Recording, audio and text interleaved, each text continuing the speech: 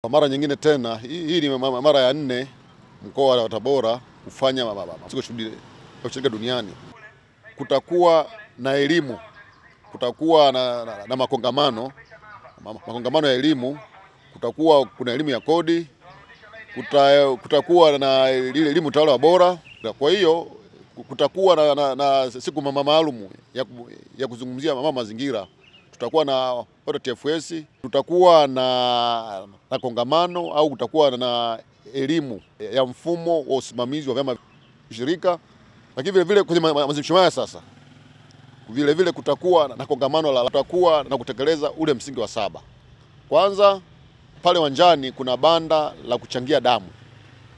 Kwa hiyo wanaushirika wote wananchi watatakuwa pale bandani watachangia damu kwa kuchangia damu ni kwa wenzetu ambao wana changamoto za kiafya. Tunawakaribisha sana Tabora, tunasema utamu mwanzo mwisho. Uiunge mkono serikali yetu katika kuimarisha vyama vya ushirika. Karibu Tabora, karibu kwenye maadhimisho ya siku ya ushirika duniani Juni 29 hadi Julai 6, 2024. Wananchi wote mnakaribishwa.